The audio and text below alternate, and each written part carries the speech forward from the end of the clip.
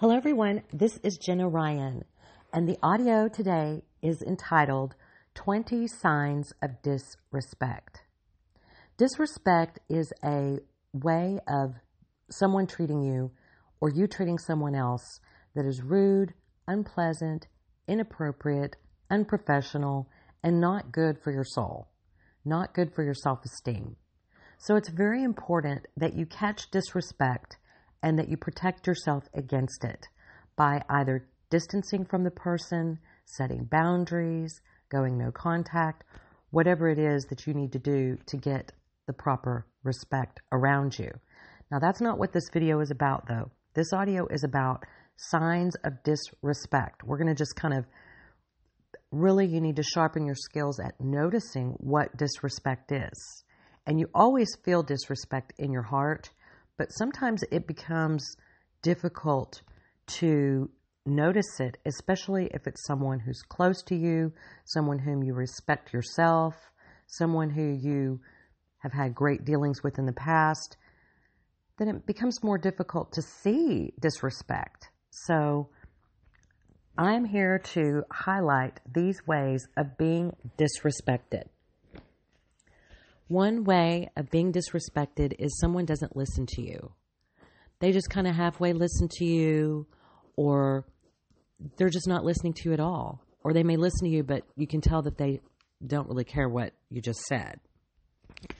So you may be talking to them and they're on their phone, they're looking away, they're constantly distracted. They can't really stay on the subject that you're speaking about. Now, this might be due to mental illness or physical illness if you're talking about someone elderly. That's different. But I'm just talking about a healthy person, maybe um, your husband, your wife, your, your boyfriend, your girlfriend, your best friend. They're just not listening, and you can tell. Okay, that's number one. Number two, they do not value your time. They don't value your time, so they don't show up, they stand you up, they show up 30 minutes late they cancel at the last minute. Someone who is not respectful of you is going to not value your time. And so, what do you do in those cases? You make sure that you know what you're dealing with. You don't continue to put yourself in the line of fire and allow yourself to waste time waiting on them. You, you set a boundary. Um, you can tell another sign of disrespect is body language, how they are giving you eye contact, whether they're in tune with you and their body is in tune with you, or are they looking over your shoulder? Are they looking at their watch? Are they yawning? There's different signs of your body language that show respect or not. Someone who disrespects you is going to ignore you. You could be in a group of people, and every time you bring up a topic of, of conversation, they just ignore what you just said and they talk to someone else and someone else brings up a topic of conversation and they go on all day, that is absolute obvious disrespect. And you need to feel in your heart and know, ooh, I'm being disrespected. What can I do to protect myself? And that's not what this audio is about. We're just talking about signs.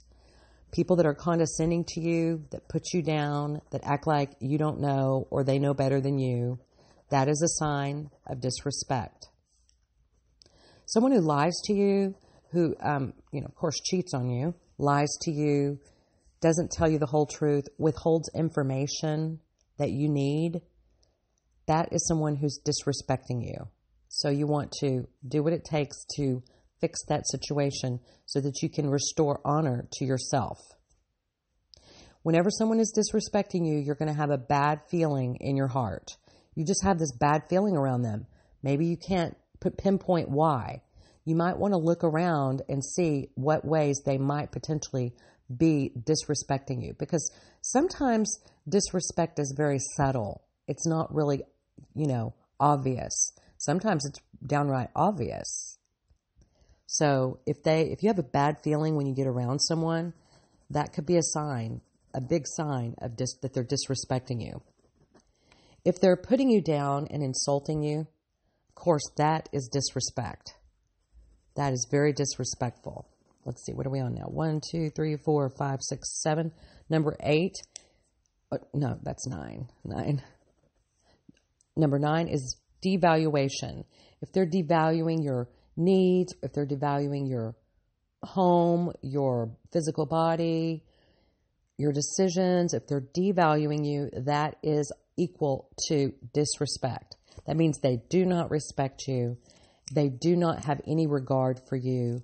And it's up to you to have regard for you and to respect yourself by putting a stop to all devaluation the minute you recognize it.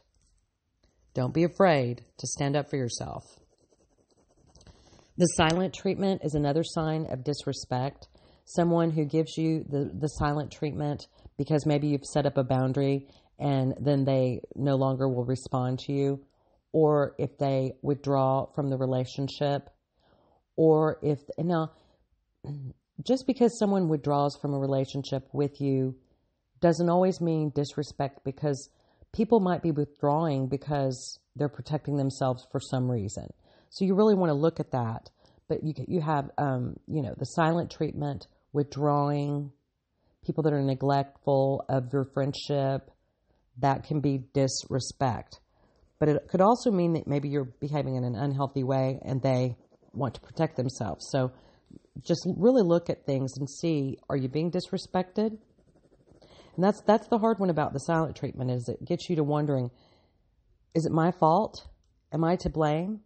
That's why I hate the silent treatment because it's like it's just it leaves so many open open questions. But if you look and see someone has a pattern of silent treatment, then it's a, it's a form of disrespect. It's like I don't have to talk to you. I don't have to talk to you. And I don't want to. Physical abuse. Now, physical abuse, of course, is disrespect. Anyone who abuses your physical body is disrespecting you. But also, anybody who um, doesn't doesn't adhere to your physical boundaries, someone who you know comes closer to you than what you feel you, keep backing up and they keep coming closer, that is a form of disrespect. You know, it, you may feel aroused by that if it's, you know, someone you're dating or whatever, but it's also a form of disrespect unless they have your permission. You know, you, you really, people need to keep their physical boundaries in place.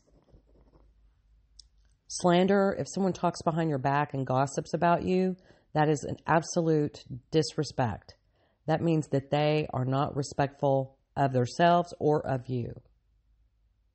Someone who doesn't honor their agreements, they tell you they're going to do something, but they fail to do it, that is disrespect. Someone who ignores your boundaries. If someone is ignoring your boundaries, that is disrespect. They may act like they don't know it's a boundary. They may ignore the boundary. They may, you know, hear what you're saying and go ahead and do it anyway and act innocent, but that act is not good enough. It means they're disrespecting you, and you have to take a stand and stand up for yourself and not be a doormat.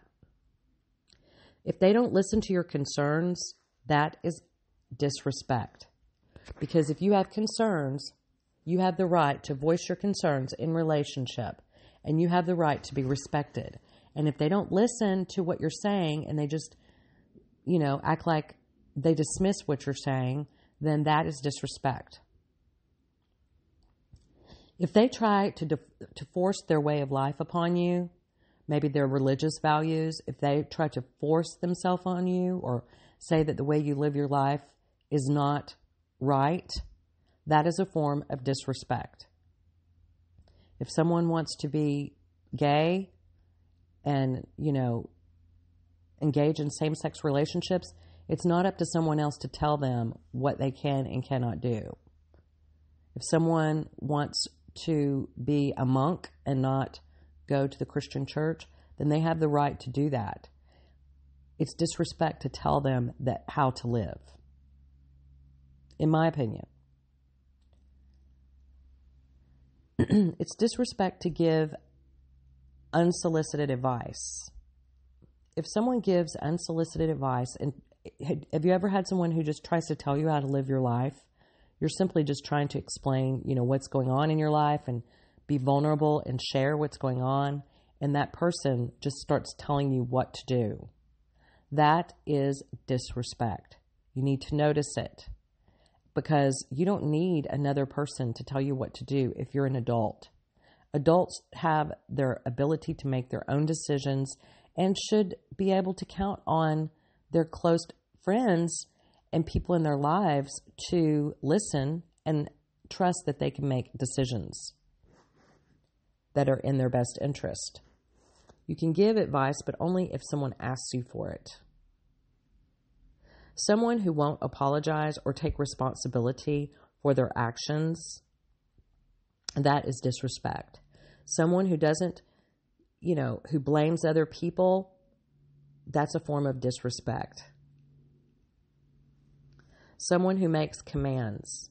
Someone who says, do this, do that, don't do this, don't do that. That is a form of disrespect. Adults do not need to be commanded. Adults do not need to be bossed around. You're not a puppet.